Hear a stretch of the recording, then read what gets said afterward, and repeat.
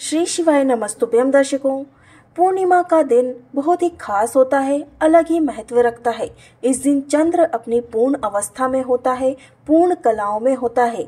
यह दिन बहुत ही मान्यता रखता है, क्योंकि इस दिन किए गए उपाय, कर्म, दान, धर्म, अपनी एक मनोकामना को पूर्ण करता है और लोग उस दिन स्नान करके, दान करके और कई ऐसे उपाय करके अपने कर्मों के आधार पर फल प्राप्त करते हैं और इस दिन अपने किए गए पाप कर्मों से भी मुक्ति पाते हैं, मनवांचित इच्छा की प्राप्ति रखते हैं तो उन्हें प्राप्त करने के लिए उपाय भी करते हैं।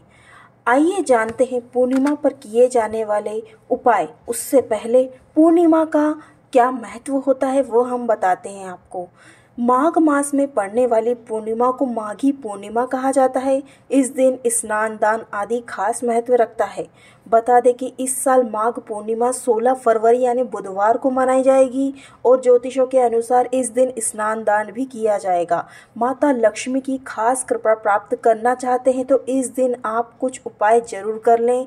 हम आपको बता दें कि इस दिन क्या उपाय करने चाहिए जिससे माता लक्ष्मी आप पर अति प्रसन्न हो?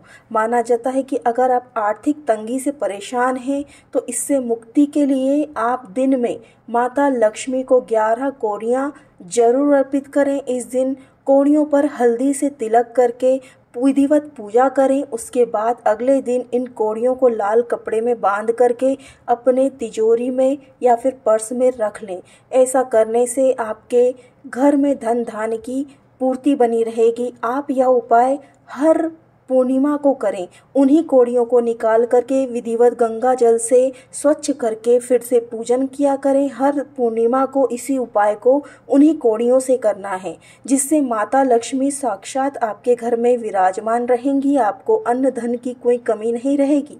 माघ मास की पूर्णिमा के दिन माँ लक्ष्मी को खीर का भोग अवश्य लगाएँ।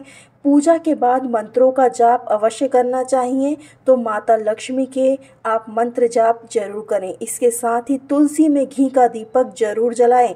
तुलसी को अर्ध देते समय आप उस जल में काले तिल और थोड़े से अक्षत के दाने, थोड़ा सा कुमकुम या फिर अबीर ज़रूर मिला लें। थोड़ा सा मीठा भी भोग में लगाया जाता है तो तुलसी के सामने भोग भी ज़रूर लगाएँ। खीर का भोग लगाएँगे तो अति उत्तम माना जाएगा।